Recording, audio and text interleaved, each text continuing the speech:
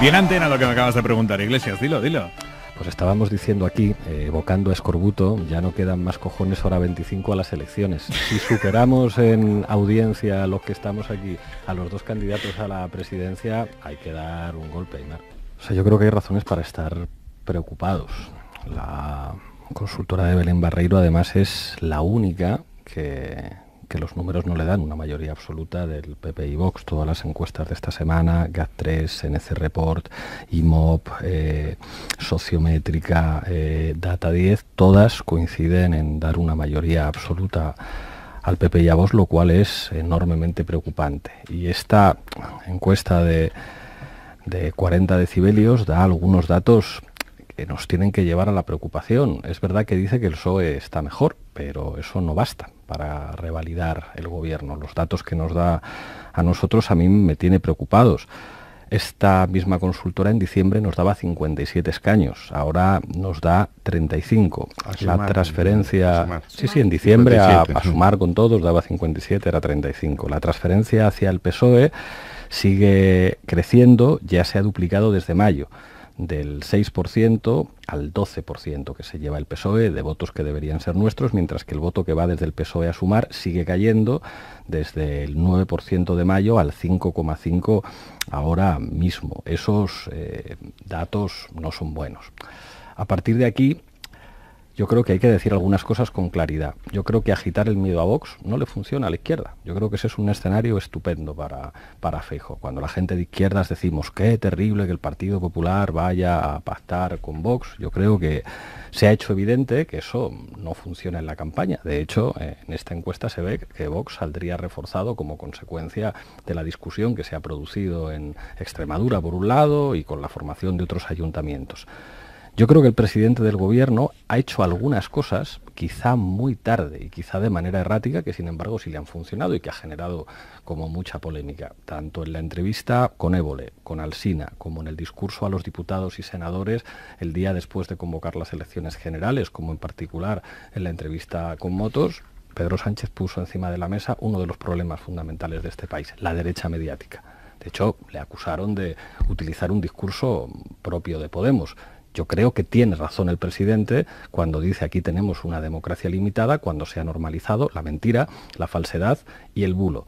Y creo que eso hace que mucha gente diga, hombre, por fin alguien en la televisión dice lo que antes estaba prohibido decir y era gravísimo, pero que es básicamente la puñetera verdad. Yo creo que la única opción que tiene eh, el Partido Socialista, eh, todos los partidos que estamos en sumar, eh, el resto de formaciones políticas que tendrían que arrimar el hombro, es dejar de perder el tiempo tratando de meterle el dedo en el ojo al Partido Popular con que van a pactar con Vox, eso no les quita un solo voto y empezar a decir determinadas verdades que no se han dicho durante los últimos años. Creo que ha quedado demostrado en el resultado de las elecciones autonómicas que los datos que hay del paro, la gestión del gobierno que no tiene precedentes en términos de avances del estado del bienestar y de la eh, protección social, eso difícilmente puede tener una traducción electoral cuando finalmente la pregunta de la campaña es el que te vote chapote o las barbaridades que pone encima de la mesa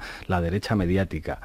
O asumimos que la pelea ideológica es el terreno crucial de la política, o creo que seguir haciendo lo mismo que no ha estado funcionando hasta ahora es un error. Ojalá Pedro Sánchez siga diciendo aquí uno de los problemas fundamentales es que todos los días hay millones de ciudadanos a los que se les está mintiendo y se les está mintiendo desde las principales cadenas de televisión, desde los principales periódicos, desde muchas de las estaciones de radio. Si empezamos a decir la verdad, yo creo que a lo mejor las cosas pueden cambiar, si no creo que va a ser muy difícil revertir un veredicto que es que están señalando ya todas las encuestadoras. Margallo es, como buen democristiano, muy listo. Se dice que en el circo romano los leones se comían a los cristianos, pero si salían los democristianos eran los leones los que mm. acababan devorados. Hay que escuchar muy bien lo que dice Margallo porque no da puntada sin hilo. Ha dicho dos cosas muy interesantes. Por una parte, ha dicho que Vox es constitucionalista sin que nadie le preguntara nada. ¿Por qué está diciendo eso, Margallo? No, Margallo, ha dicho Carmen que no, lo no, era. no, no, yo he dicho pero que no es podéis, constitucionalista. podéis Venga, que dejar de hablar Iglesias. sin ponerme zancadillas todo el rato. Luego después me contestáis en los turnos de intervención. Margallo ha dicho que Vox es una fuerza constitucionalista. ¿Por qué dice esto Margallo? ¿A cuento de qué? Porque básicamente está preparando un escenario en el que el PSOE va a gobernar con una fuerza constitucionalista, no como Podemos y como Bildu, que son una mezcla entre terroristas y gente que quiere romper la unidad de España. Eso es lo que está diciendo. Y después dice otra cosa que es bastante interesante y que consiste en agitar el fantasma del referéndum y de la plurinacionalidad. Esto es llamativo porque la propia Constitución española reconoce la plurinacionalidad al hablar de dos tipos de territorios, unos que se llaman regiones y otros que se llaman nacionalidades, que cualquiera que sepa un poquito de derecho político sabe que la diferencia entre nación y nacionalidad no existe. En la Constitución del 78, que se hace en un lugar y en un tiempo muy difícil, ya se reconoce la plurinacionalidad del Estado. Pero ¿por qué dice esto Margallo? A Margallo le gustaría que volviera un mundo que ya no es posible y ya se ha dado cuenta de que no va a volver. Un mundo en el que él pudiera entenderse con sus amigos exconvergentes o con sus amigos del PNV. El sistema político del 78 funcionaba muy bien. En la medida en la que había dos grandes partidos con amplios consensos de Estado, terminaron estando de acuerdo en la OTAN, a pesar de que AP en su momento no lo tuvo tan claro, tuvi- estuvieron de acuerdo en la manera en la que España se tenía que incorporar a la división de trabajo europea, estuvieron de acuerdo con Maastricht, con el apoyo de los sindicatos, de comisiones obreras y de UGT, y además había dos partidos alfa del subsistema político catalán y el subsistema político vasco, el PNV y Convergencia y Unión, que básicamente, a cambio de negociar competencias autonómicas, entraban en los grandes consensos de Estado, incluido el de la monarquía. Aquello funcionaba muy bien. Eso ya no existe. ¿Qué es lo que va a ocurrir si hay un ejecutivo del Partido Popular y de Vox? Pues si ya lo está anunciando Margallo, se acabó el Estado autonómico. No. Se acabó. Hombre, No hombre, eso, ¿eh? ya verás como formen gobierno lo que va a pasar el, el próximo autonomista, no me Sí, el ¿eh? próximo 11 de septiembre el despliegue que podría hacer un Ministerio del Interior en manos del Partido Popular y Vox en Cataluña, como excusa después para que allí todos los periódicos y las televisiones de Madrid digan hay que intervenir las competencias autonómicas y ahora hay que hacerlo bien en serio, porque como todo es guerra cultural, no hay nada que movilice mejor los bajos instintos de decir esto es una guerra contra los que quieren romper España. Y además hay que ilegalizar un partido vasco que se llama Bildu, que esto es una cosa que ya llegaron a reconocer incluso en el Partido Popular. E incluso a cualquiera que sea amigo de Bildu o esté a favor del derecho a decidir como Podemos, a estos les ilegalizamos también. Cogemos sumar y dividimos de estos 17 partidos cuáles hay que ilegalizar y cuáles no. O alguien piensa que eso no es lo que va a ocurrir. El problema es que eso no es un proyecto de país. El sistema político del 78, con el que yo soy muy crítico, tenía un proyecto de país.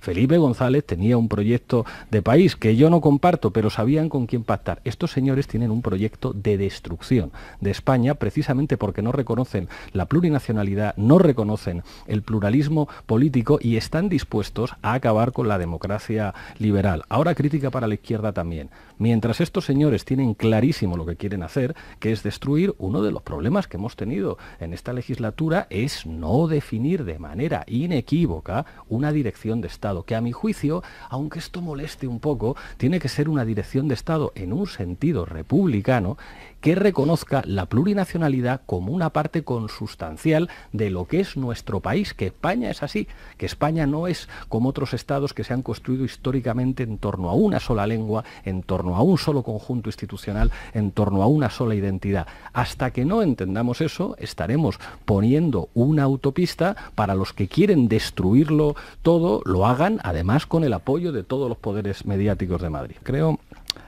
que la derecha española sabe bien lo que hace. A mí, de hecho, a veces siento una cierta envidia de que a la derecha no le tiembla la mano y a la izquierda a veces sí. O sea, a mí me gustaría una izquierda con la mano dura y con la contundencia que tiene la derecha para ciertas cosas. Si ganan las elecciones vais a ver lo del Consejo General del Poder Judicial, que lo han mantenido cuatro o cinco años en rebeldía y después, si les va bien, utilizarán su mayoría parlamentaria para colocar allí a su gente sin ningún pudor. Yo creo que a veces la izquierda deberíamos aprender que en política hay que ser contundentes y no estar tan preocupados por el que dirán, y que la derecha española solamente respeta la fuerza, no respeta las razones, respeta la fuerza, y yo sé que esto puede ser muy impopular y habrá quien diga, no, es que nosotros no podemos ser como ellos y tal, y no sé qué, con la experiencia histórica de este país, a la derecha española hay que tratarla como se merece. Aquí con esta cuestión de la plurinacionalidad yo creo que nunca les vamos a ganar diciendo que somos más españolistas nosotros, porque no es verdad. Yo creo que una de las claves del éxito del PSC en Cataluña es que es un partido catalanista y que es un partido con una sensibilidad hacia la cuestión territorial que es diferente. Eso no quiere decir que sea independentista, pero que sí entiende particularidades que se expresan en clave nacional, porque existe un sentimiento nacional y esto no hay por qué avergonzarse de ello, de decir, no, pues conmigo los independentistas peor que ahora porque yo soy como más españolista que tú. Yo creo que eso no tiene ningún sentido. Y vamos a Guardiola, que era de lo que estábamos hablando. Yo creo que Guardiola es una señora astuta, pero no antifascista. Yo creo que, ese discurso que, hizo no revelaba tanto sus convicciones, porque si fueran sus convicciones habría dimitido, no habría reculado, se habría tragado sus palabras y estaría ahora con Vox. Yo creo que ella intentó hacer una vía democristiana a la extremeña. Es decir, yo voy a lograr atraerme a muchos sectores que votan al Partido Socialista en Extremadura diciendo que yo soy especial y que yo esto lo voy a hacer sin Vox, porque Vox aquí es muy pequeñito, y que yo voy a ser, digamos, una figura particular de este Partido Popular. En el Partido Popular tienen Ayuso, tienen a tal, y me van a tener a mí, que soy la señora del PP a la que vota más gente todavía del PSOE. Un poco como paje, solo que al revés. Y ha llegado Partido Popular y le ha dicho, mire, señora, nosotros somos un partido serio y aquí nosotros le decimos con quién pacta usted y usted tiene dos opciones. Se va a su puñetera casa o hace lo que le dice la dirección del partido. Si es que a veces hay que aprender de cómo hace las cosas la derecha. Bueno, pues ¿qué me van a contar a mí o a nosotros? Esta mañana los nazis, estos escuadristas de Desocupa, han puesto un cartel contra el presidente del gobierno pero la gente de la que le rodean el cartel son todos de Podemos, menos Ada Colau. Los demás todos de Podemos y Gabriel Rufián, de Esquerra Republicana de Cataluña, y me ponen a mí, que ya en política no pinto nada, ni tengo cargo, ni responsabilidad, ni no sé qué. Nosotros sabemos bien lo que significa que intenten destrozarte la vida, y eso ha tenido también implicaciones en la izquierda. Hay poca gente que quiera en la izquierda mm, que te traten como han tratado a Podemos y como nos siguen y cómo nos siguen tratando. Y eso, bueno, pues revela la normalización de la violencia mediática en nuestro país y creo que mi partido y, sus dirigentes ha sido uno de los máximos ejemplos de, la normalización de esa, de esa violencia. Y yo pues lamento que sea difícil para Casero encontrar trabajo después de aquella votación. Medio en serio, medio en broma, diría que UGT y comisiones tienen una deuda pendiente con este señor y que igual podrían compensarle con algún tipo de puesto de trabajo, pero ¿cómo encuentra trabajo alguien que ha sido de Podemos en una empresa en España? Es decir, ¿cómo? con las cosas que se han dicho de nosotros, con las cosas que se siguen diciendo, y eso no funciona de manera equivalente a todos los partidos. Aquí hay partidos que sus exministros y sus expresidentes acaban en consejos de administración de grandes empresas. Nosotros no.